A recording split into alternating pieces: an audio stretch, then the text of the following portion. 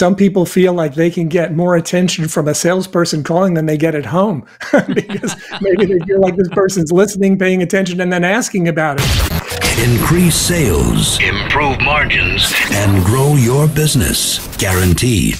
Top secrets of marketing and sales. Now, now, now, David Blaise. Hi, and welcome to the podcast. In today's episode, co host Jay McFarland and I will be discussing strengthening client relationships. Welcome back, Jay. Hey, David, once again, it's great to be here. And I think that this is another really, really important topic. The key word for me is relationships. I think that oftentimes you see people with a business model who want to turn them and burn them, so to speak. And they don't think about that word relationships and how important it is. Yeah. And very often, even if they don't intend to do it, the tendency among many salespeople is to get in there, make the sale, move on, get to the next one, get to the yeah. next one, get to the next one. And when it happens this way, it's very difficult to really maximize the value of those relationships in terms of dollars, but also just in terms of the relationship itself when you do that, when you just get in there, you sell something, and then you move on to the next one, you're not really building and nurturing a relationship, which is critical if you don't want to have to constantly replace the clients that you're losing because you're not maintaining those relationships in the first place.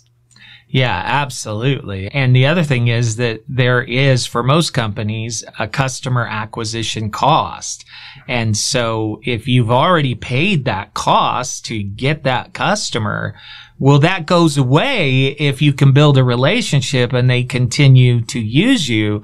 That to me is just such an important approach. If you're just doing it one at a time, you're going to pay that cost every single time and it's going to lower your profit margins. I completely agree. And people talk about that sort of thing all the time. We all know that it costs a whole lot less to resell an existing customer than it does to find and sell a new customer. We all know it intellectually, but it is rarely practiced as well as it could be and should be within most businesses. You know, an analogy that helped me a lot was when I realized that when we're building a client base, it's a little like building a brick wall. You know, you get that first brick in place, and then you get the next brick in place, and the next brick in place, right? So, your first year in business, you've got this sort of layer of bricks. These are each of the initial customers that you brought in.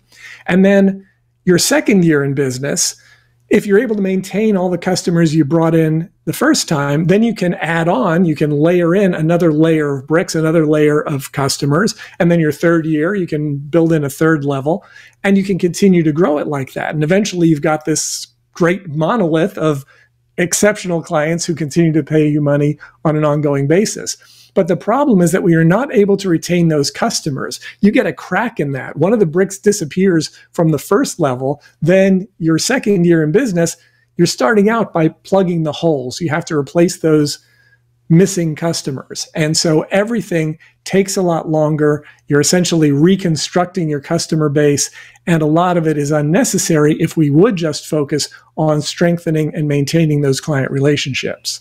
Yeah, and there's several ways to do that, right? Phone calls, emails, drip campaigns from your customer management system. There's a lot of ways to do that. But I got to tell you, you know, as somebody who's on the phone all day long doing sales, when I already know that person and they know me, it's just easier all the way around. I mean, it just feels so good when I call them and they're like, Hey, Jay, how's it going? Instead of, what do you want? You know, I don't have time for you.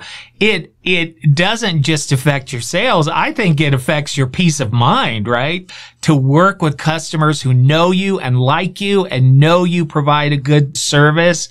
That's just a great feeling and it really helps motivate you, I think, to move forward. Yeah, and so much of it is a mentality issue.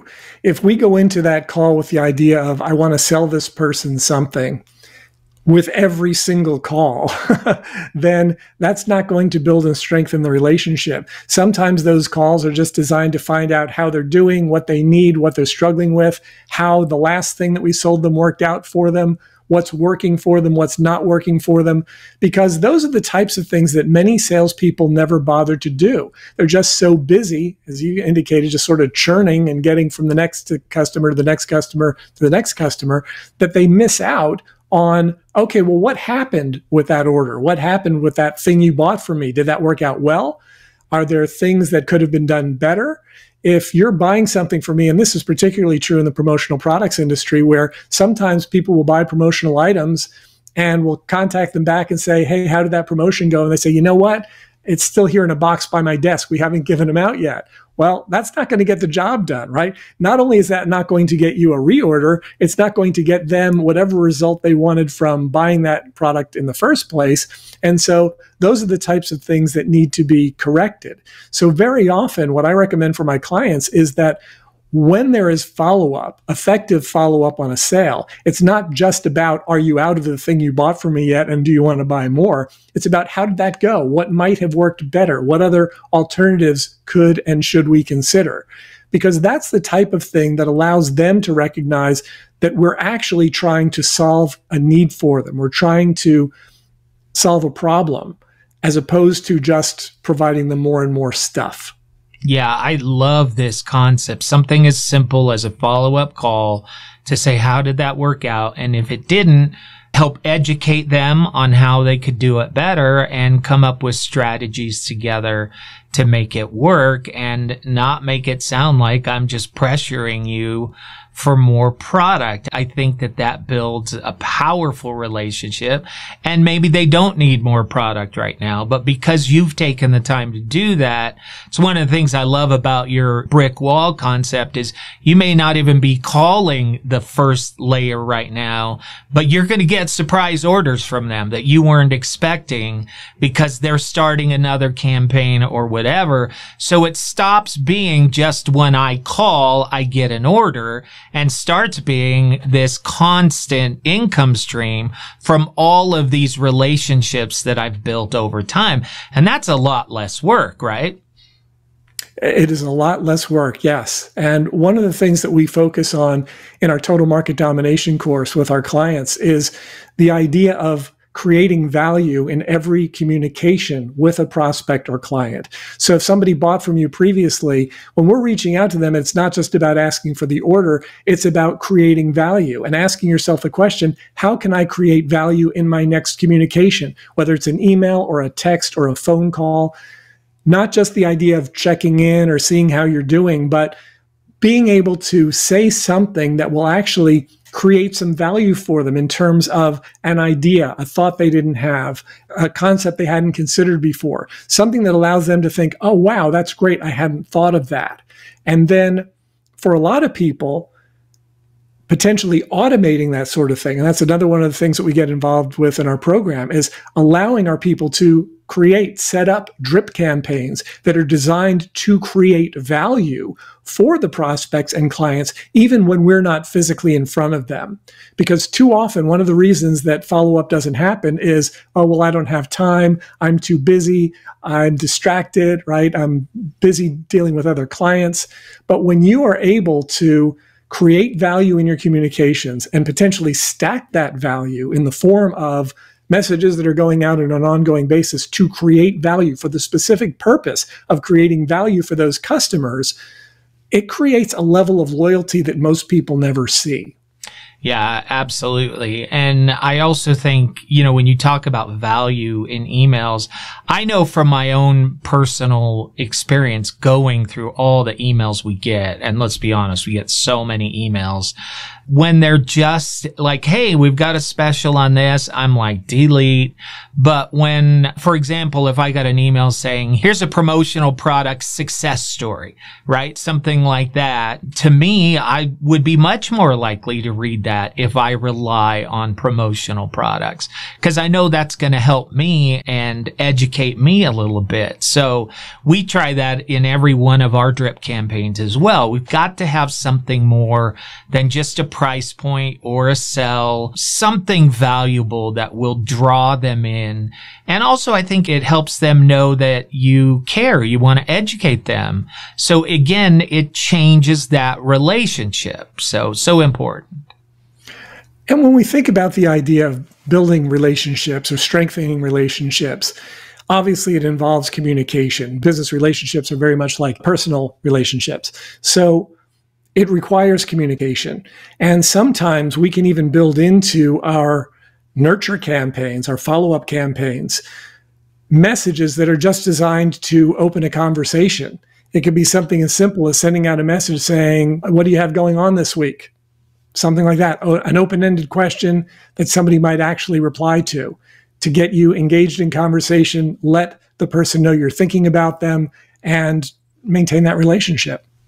Yeah. And I also, you know, some of the relationships, the business relationships that I have would consider my top tier. I know about their families. I know about their lives. I know about how their business is going. And it's not like I pride. It's just every time I call, it's just, Hey, how's everything going? And people will automatically, they'll tell you, well, it was a tough week because this happened and this happened. And if I'm making notes on that and things like that, then the next time we follow up, I'm like, so how was that going? You know, those types of things go so far in taking that relationship to the next level. And even then, the really top tier clients, I would say, Hey, let's get together for dinner sometime. And at dinner, we don't talk business. We get to know each other. We talk family. We do those kind of things. So uh, relationship really means something. It has strong value. And if you can find ways to build that, those relationships could last the entire time of your business, right? And just go on and on. Yeah, no question. And one of the important keys to that, I think, is recognizing that in personal relationships, we very often will pick up the conversation right where we left off the last time. There are probably people you know you might not have seen them in years and years and years. And as soon as you see them, you can just pick up on that yeah. conversation right away. We want to be able to do the same thing in business. In business, we usually accomplish that with our contact management system. You enter the appropriate notes in there about what you talked about so that you can reference that conversation. That sort of thing builds relationships. Calling people and just saying, What do you want to buy next? Not so much. Yeah, I totally agree with you. And I take notes on everything, any interaction with a customer, not just what they've ordered, but what they've said during that conversation. And I want to point out, people may be hearing this and saying, well, it's kind of mechanical and you're keeping notes on them. And when you call back, you're just responding or asking those questions because you only want the sale. I have found just the opposite.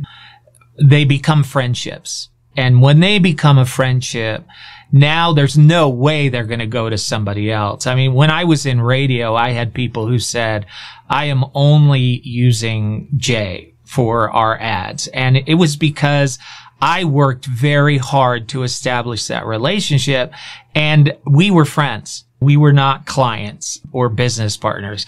We were absolute friends. And if you can reach that goal, then that's going to last forever, you know? Yeah, exactly. And it takes the same kind of thing. I mean, the same things that go into a personal relationship should go into our best business relationships. Yep. And if you've got perfect memory and you don't have to make notes or write things down, then knock yourself out. For most of us, particularly if you're dealing with a lot of people, the notes help because you can pick up that conversation. You can know that they will be on the same page. You know, another analogy to this is if you're making a number of calls a day and that person isn't, they have one person to remember you and you've got a dozen people to remember. So if you're able to make those notes and pick up those conversations right where you left off, it just creates a sense of relationship that you will not have if you're not able to do that. Yeah. And the other thing is it plants in their mind this guy was listening to me last time, right? And so that tells them, that sends a message that you cared enough to remember those things. And, you know, I, I've had that experience. I'm like, wow, we talked six months ago and you still remember all that stuff. You know, that tells me you care. Exactly. Some people feel like they can get more attention from a salesperson calling than they get at home because maybe they feel like this person's listening, paying attention, and then asking about it. It doesn't always happen as well as it should in personal relationships. Same thing in business. But in business, there's something very simple you can do about it. Just take the notes and pick up the conversation where you left off. Yeah, I love that, David. How can people find out more? Well, you should go to topsecrets.com slash call, schedule a call with our team So we can help you try to figure out where you are now, where you're looking to be. If you're looking to strengthen your client relationships, we can help you with everything from sequencing your communications to doing that kind of thing on automation. We help our clients to create the results they're looking for. And so if you'd like to have a conversation, we'd love to have it with you. Just go to that URL and we'll talk to you soon. Well, I have loved this conversation, David. Thank you so much. Thank you, Jay. Increase sales, improve margins, and grow your business guaranteed. Top Secrets. TopSecrets.com.